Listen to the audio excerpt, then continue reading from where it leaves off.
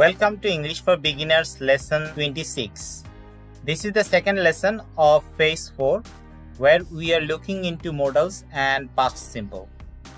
So in lesson 26 we will consider the differences between would and could. অর্থাৎ lesson twenty সিক্সে আমরা দেখব could এবং উডের মধ্যকার কি পার্থক্য কোন কোন পরিস্থিতিতে আমরা কুড মডেল হিসেবে ব্যবহার করব এবং কোন কোন পরিস্থিতিতে উড আমরা মডেল হিসেবে ব্যবহার করব? আপনাদের নিশ্চয়ই মনে আছে, এর আগের লেসনে কুডকে আমরা অতীতের সক্ষমতা অর্থে ব্যবহার করেছিলাম। কিন্তু কুড আসলে শুধু সক্ষমতা না, অন্য অর্থেও ব্যবহার হতে পারে।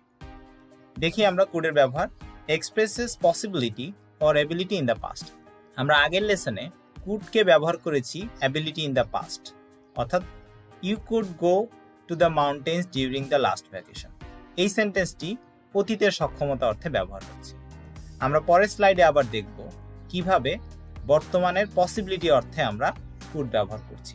তার আগে উডের ব্যবহার একটু দেখে নিই।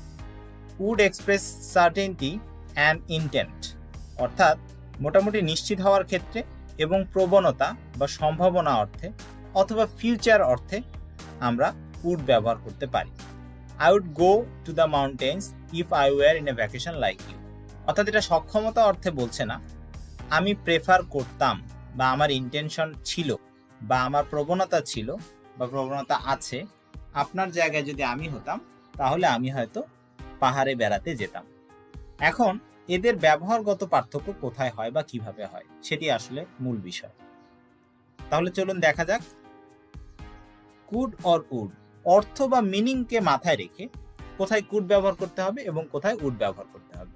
শুরুতেই দেখা যাক কুট কীভাবে ব্যবহার হয়। পসিবিলিটি অর্থে। I solve the problem in the last meeting তাহলে, এখানে আমি বাস্তবিক অর্থে সলভ করেছিলাম কি না প্রবলেমটা সেটা না, সেটা বলা হয়নি। বরং আমি চাইলে লাস্ট মিটিংয়ে প্রবলেমটি সলভ করতে পারতাম। অর্থাৎ অতীতে আমার সক্ষমতা ছিল বা সম্ভাবনা ছিল পসিবিলিটি ছিল। সেই অর্থে, অর্থাৎ I could solve the problem in the last meeting এক্ষেত্রে পসিবিলিটি প্রবাবিলিটি কিংবা সক্ষমতা যেটাই বলি না কেন, অতীতের ক্ষেত্রে এই স্কোপ বা সুযোগ ছিল। কিন্তু হয়তো বাস্তবে সেটা করা হয় নাই। এখন যদি আমরা উডের ক্ষেত্রে দেখি I would not appoint her with such a poor performance in the interview ইন্টারভিউয়ে এত পুয়ার পারফরমেন্স নিয়ে আমি হয়তো তাকে অ্যাপয়েন্ট করতাম না। তার মানে অর্থ দাঁড়াচ্ছে এরকম খুব সম্ভবত তাকে অ্যাপয়েন্ট করা হয়েছিল।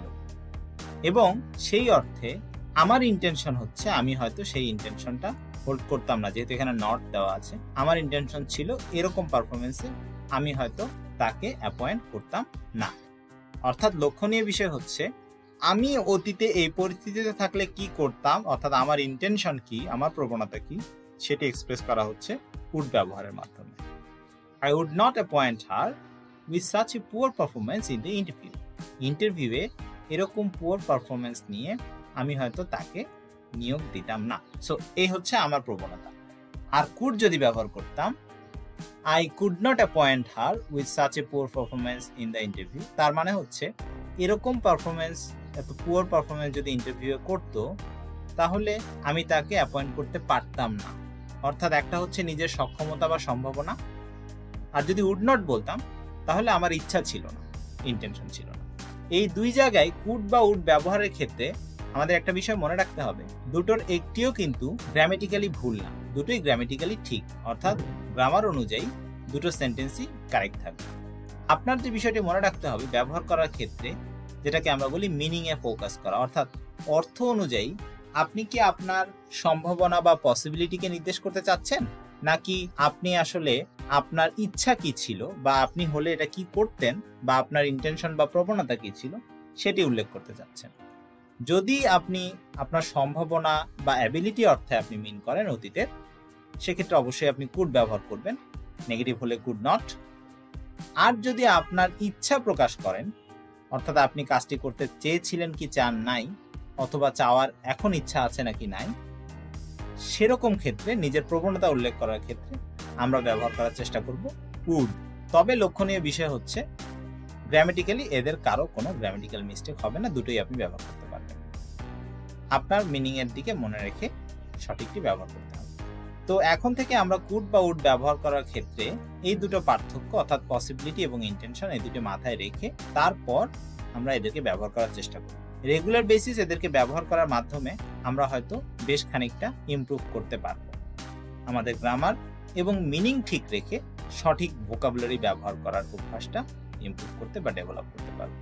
So that's the end of lesson twenty six the difference between could and would hopefully see you in the next lesson until then keep practising and improve your English.